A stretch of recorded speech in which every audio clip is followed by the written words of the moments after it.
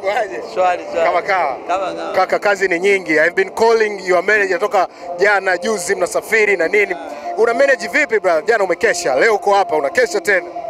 Ah, mimi nafikiri sisi madansa tunaongoza kwa kuwa strong kwa sababu ya mazoezi pia tunafanya na tunapenda kazi sana sana kuliko kitu chochote. Kwa hiyo ndio maana unaona kitu chochote kinakuwa sio sio kizuizi sikuendelea kufanya kazi yeah.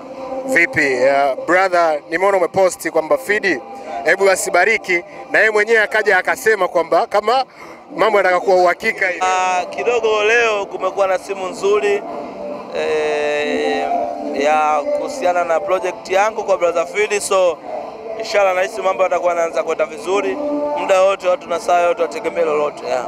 Anasema kwamba kuna mawili, aidha umetaka collab kwa sababu FA alisema au ulikuwa na hiyo plan kabisa, mimi nataka collab. Ah, ilikuwa ni plani bila kujua swala la FA, lakini tuna respect kila ambacho kinatokea na siwezi kumkosoa brother FA kwa sababu ni mtu ambaye akosei, ana, ana kila sababu za kuheshimiwa na kila alichoongea kinakuwa kina maana kubwa. So mimi ni kama mdogo, nimeomba kwa kaka yangu, kuna mawili kukubaliwa na kukataliwa. Ikiwezekana inshallah, ikikataliwa basi, lakini siwezi kukosoa mazungumzo ya brother yangu mwana FA. Yes. Okay, apart from Mwana FA, nafikiri mwenyewe pia umeona comments za kwamba Diamond Platinum ndo wa kushindanishwa na wewe, though hujasema ni mashabiki. Even hata brother uh, Msami amesema pale, amekushauri namna hiyo. Wewe unavyoona comment hizi, unajiona wapi kwenye mziki wako kwamba ah, man, right now mimi wa kushindanishwa na Diamond? Ah, inanishtua kidogo kwa sababu mashabiki ndio waga wanakuwa na upendo mkubwa sana, lakini pia hao hao ndio waga hawachelewi kukugeuka, unanielewa? Sijui. Kwa hiyo mimi naona nzuri zaidi ni kuendelea kutuweka katika kutujenga katika mazingira ya kuheshimu kaka zetu, e, kututengeneza katika maadili mazuri. Wao ni mashabiki, ndio watu ambao tunawaangalia sana kwa muda huu, kile ambacho wanataka, so wajaribu kutu kuwa wawe na komenti nzuri, wawe na maelekezo mazuri kwetu sisi, kwa sababu wao ndio watu ambao tunawafuata sasa hivi. Msanii yote anapokuwa katika piki anakuwa anasikiza mashabiki wake ambacho anataka.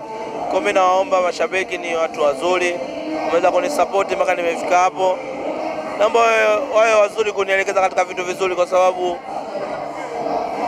ukisema leo unanishindanisha na mabradha hawa watashindwa kunisaidia baadhi ya vitu vingine ambavyo vingeweza kunisaidia mimi na kunifanya niwe bora vile ambavyo wao wanataka, si unanielewa? Kwa hiyo wajaribu kuwa katika engo hiyo, waache hizi mambo za hivi za kushindanisha wasanii wao kwa wasanii wao, wawe watu wa kuwasapoti, aidha wa kuwashauri. Mdogo wangu, sije labda ukawa wazo la kushindana na kaka zako, omba sana mawazo kwa kaka zako, kuwa na nidhamu. Ni watu wanataka nikumbushe kila siku niwe mtu bora, niwe mtu sahihi katika industry yeah. Okay, uh, Mario alivyoona hii jambo linaenda hivi kwa mara ya kwanza, yeye alisemaje kukushauri kama mshikaji wake, bosi wake, hivyo rafiki yako? Huwezi amini, hakuna mtu ambaye alikuwa anafuatilia hilo jambo kwa umakini.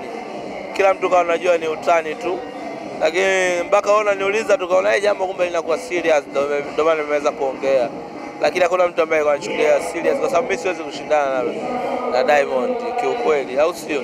Mimi ni mtu ambaye niko katika dunia yangu ya dance, mimi niko kwenye dance. Hata kama niko kwenye dance pia siwezi kushindana na kina Brother Msami, Sumoze Yobo, Sunani, sitakiwi sababu hawa watu ni ambao watu ambao wameshafanya vitu vizuri vingi, au sio?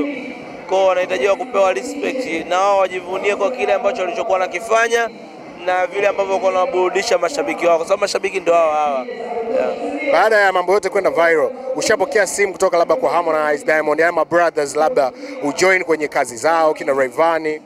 ya simu nyingi za kujoin kwenye kazi na hadi kuna baadhi ya kazi shafanya na mabrothers yeah. Okay, uh, ile la mwisho brother. Juzi umeenda Zanzibar kule, mama amekuja amekuya pipa na vitu kibao umefanya naye. Baada ya mama kuondoka, milango mingi imefunguka. Trust me bro, tulikuwa tukipiga story kijiweni, tunasema baada ya Maza kuja na kuondoka, Chino tumezidi kukuzungumzia. Do you think mama, yani swali langu ni kwa mama amekuja kuongeza nini kwenye karia yako yote kwa ujumla? Kwa sababu baada ya mama kurudi zake nyumbani, design kama kakuachia vitu huko, yani ndo Chino tunazidi kukumzungumzia. Uh, always mama waga ni mwema kwa watoto zake wote. Eh, anaga, anaga ubaguzi. Na namshukuru mama yangu kwa sababu ni mtu ambaye namuwazia kila siku. Ni mtu ambaye nilikuwa natamani muone katika furaha ile. Kile nilichokifanya ni kitu ambacho kilikuwa nakiota miaka mingi nikiwa sina kitu, sina kitu kabisa. Nilikuwa na wish namuona siku mamangu nampandisha ndege, anafurahi, anatumia ambacho anakitaka kutoka kwangu, lakini right now imekuwa ni ndoto ya kweli. Nimeweza kumpa faraja mamangu, nimemchukulia kiwanja, inshallah nitamjengea, lakini nashukuru nimeshaiona tabasamu yake kabla ya yeye kufariki au kabla ya kutokea kitu chochote kibaya au mimi mwenyewe kufariki. So ni faraja kubwa, na kwa kijana yote naamini anayo ndoto kama hii, akiweza kukamilisha kama hichi, anakuwa na furaha, anajiona kuna kitu kikubwa kakitenda kwa mzazi wake na hata kwa Mwenyezi Mungu. Kwao nafurahia kwa sababu wapo wengi, mbona wameshindwa kufanya kwa wazazi wao. So mimi nimeweza kukumbuka na kukamilisha ndoto ya mama yangu na familia yangu, namshukuru Mungu sana. Yo brother Chilo, thank you for your time na uendelee kushine, tunakuombea na sisi tunaendelea kuenjoy magoma yao. Asante sana, shukrani.